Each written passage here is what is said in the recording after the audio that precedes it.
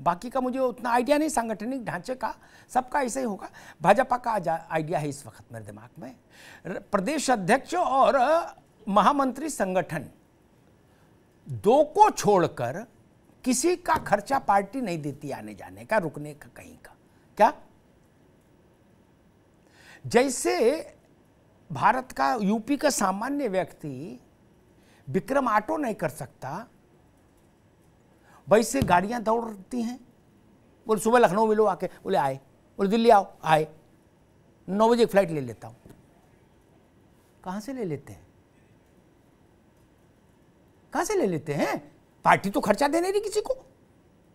प्रवास का भी पैसा नहीं, कहीं आने जाने का खर्चा नहीं किसी को। हो रहा है ना? हो रहा है ना? दो चार गाड़ियाँ भी साथ चल रही हैं, चार छह चेले भी चल रहे हैं।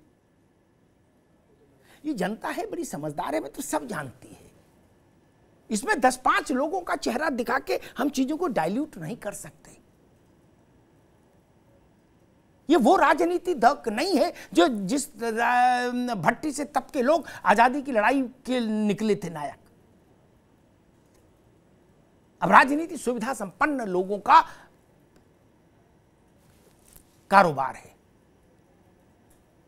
उनके घरों में आप जाइए, वैभव आपको गेट से दिखता है, गेट से। उनके बर्तन में दिखेगा, उनकी चाल में दिखेगा, ढाल में दिखेगा, कपड़े में दिखेगा, सोफे में दिखेगा, टेबल में दिखेगा। कोई नई बात बता रहा हूँ क्या?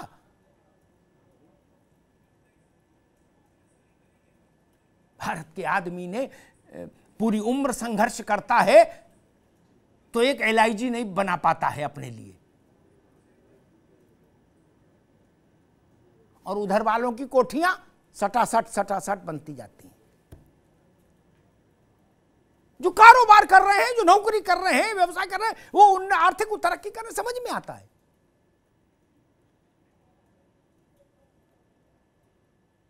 मैं उन राजनेताओं पर कभी सवाल नहीं उठाता जिनके कारोबार हैं। और जो इनकम टैक्स देते हैं भारी मात्रा में, कमलनाथ है, प्रफुल्ल पटेल है, बहुत सारे मेरे मित्र हैं। जो आदमी 500, 700, 800 करोड़ रुपया इनकम टैक्स दे रहा है उसके कुर्ते पर सवाल उठाएँगे हम? नहीं। लेकिन जो कह रहा मैं तो कुछ नहीं हूँ भाई जब मैं तो राष्ट्र सेवा में दिन भर हूँ। उससे तो कुर्ते का सवाल उठेगा। मूल प्रश्न इतना ही है मित्र। इसलिए इस बात को मान लेना चाहिए। गाँव गाँव शहर शहर लोग देखते नहीं क्या कि आपकी बिल्डिंग भव्य से भव्यतर होती जा रही है? आपकी गाड़ियाँ महँगी से महँगी होती जा रही हैं।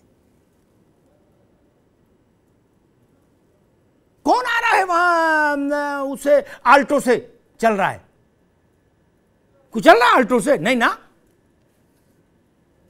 युवा मोर्चा में भी आपको कुछ तीन पाँच करना है, जावेद। तो फॉर्चुनर इनोवा चाहिए। आल्टो वाले को घुसने नहीं देता कोई? ये कहाँ से आती है? ये जहाँ से आती है, वहीं से राजनीति में पॉल्यूशन आता है, प्रदूषण आता है। राजनीति में आने वाली हर फॉर्च्यूनर राजनीतिक कार्यकर्ता को भ्रष्ट करती है। हर बार ढाई सौ रुपया जो धुलाई का जाता कुर्ते का, रोहित बाबू, वो भारत की राजनीति को प्रदूषित करता है। जिस दिन अपना कुर्ता खुद धो के सुखाने लगोगे अर्गनी पे, उस दिन आँख में आँख डाल के राजनीति हो पाएगी। अन्यथा नहीं। धन्यवाद।